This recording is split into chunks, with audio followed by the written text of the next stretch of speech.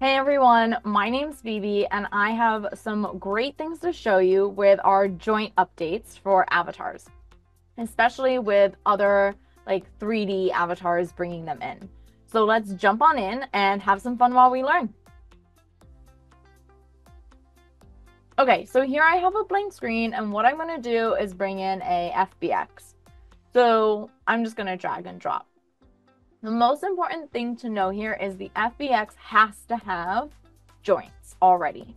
Okay, so they need to have joints because we're going to add IK joints, which are those green dots to them so that they're easier to edit, adjust, and also so we can add in like poses and motion and all of that to them. So this is all pretty good, like how this is set up. I'm gonna have open avatar auto scale, joint animation. I don't really need fitting suit on for this one. And I'm going to align to bottom. And I'm going to hit OK.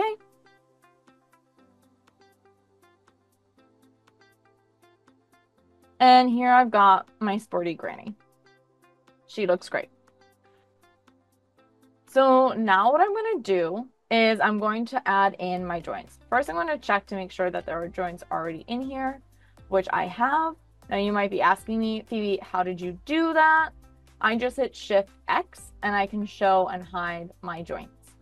If you don't want to use a shortcut key, you can see this in your 3D toggle menu over here. And then your avatar display, you can see show joints, show avatar joints, and then you can turn them on and off. I have them on, so we're all set.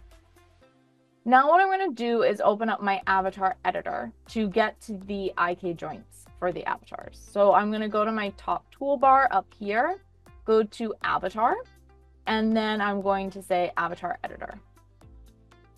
Now I already have my IK joints opened up, but you'll probably see avatar size first. Just go all the way to IK joint and then you'll see this screen. Now the first thing that's really important is making sure you're setting your T-pose first. So right up to the top here, you'll see set T-pose.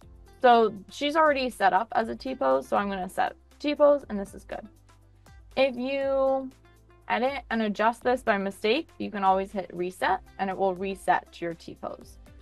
Really important to set T-pose because CLO needs to know like at least a pose and know like this is a T-pose so that then it can apply all the other poses to it and understand where it should go. So with this window open, you see a few things. You see a shadow avatar, then you see auto mapping, set T-pose, reset. There's an eye. Like if you want to learn more, you can go straight to our manual. You can reset the mapping, open up mapping, or even save mapping. So if you've already mapped this out, you can always open this and bring in previous maps if you want to.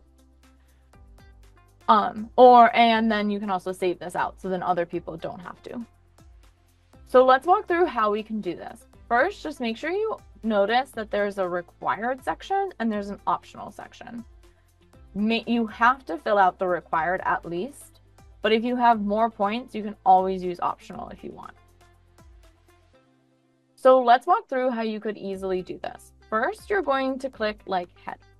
What you'll see is on my shadow avatar, the dot will like be bright white. This is showing you where that joint should be on your avatar. So I'm going to hit here for head. Then you have waist. It's showing you where the waist should be on your avatar. So I'm going to hit here for waist. I can keep, uh, maybe waist should be here. I can keep going and doing this manually. Or I can go to auto mapping and this will automatically do it for me. Pretty great. Once I'm satisfied, I can then save this.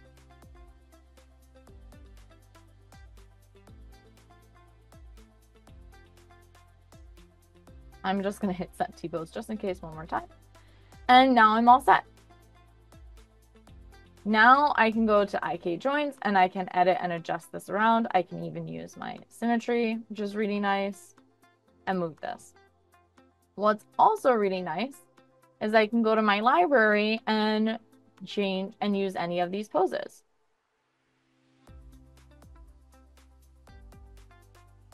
which is really cool. I can even use a motion file if I wanted to. So I can go into my animation editor and I can bring in a motion file.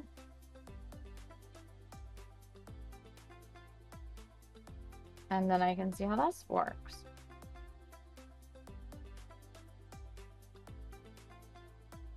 Hmm, pretty cool. Thank you so much for watching. If you have any questions, check out that comment section down below. Don't forget to like and subscribe and check out all of our YouTube channel. There's so much to learn. There's so much information out there. So please check it out. Thanks again and keep having fun in Clo.